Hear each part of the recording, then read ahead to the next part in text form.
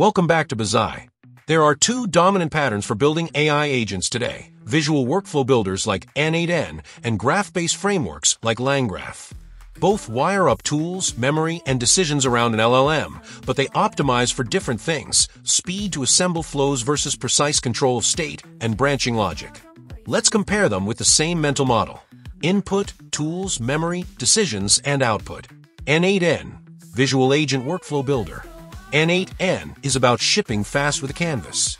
Drop an AI agent node, connect data sources, add tool calls, APIs, webhooks, databases, and sprinkle in memory blocks for context.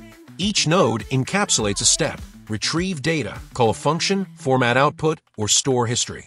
Decisions are made with simple condition nodes, so happy paths are easy to model, no custom orchestration code required. This shines for rapid prototyping and business automations that call few tools. Integrations across SaaS APIs where N8N already has connectors. Teams who prefer visual debugging with node logs and retries. LangGraph, graph-based multi-agent control. LangGraph leans into explicit state and control flow. Agents are graph nodes, edges and code transitions based on tool results, confidence, or policy. A central state object persists memory, scratchpads, working sets, retrieve docs, so each hop has deterministic inputs. Conditional nodes control retries, loops, and termination. This shines for complex tool plans, multi-step reasoning, and error-aware retries. Multi-agent patterns, planner, researcher, coder, reviewer. Fine-grained observability over state, tokens, and branch decisions. Key differences in practice. State management. N8N persists between nodes but treats state as payloads. LangGraph treats state as a first-class graph object, easier to checkpoint and resume. Branching. N8NS conditions are straightforward. LangGraph's conditional edges enable richer loops, fallbacks, and circuit breakers. Extensibility.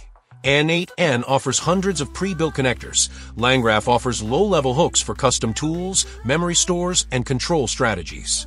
Team fit. N8N favors ops and automation teams. LangGraph favors developers building agentic apps with deterministic flows. Choosing the right tool. Pick N8N for internal automations, fetch from a CRM, summarize with an LLM, push to Slack, log to a sheet, done in an afternoon.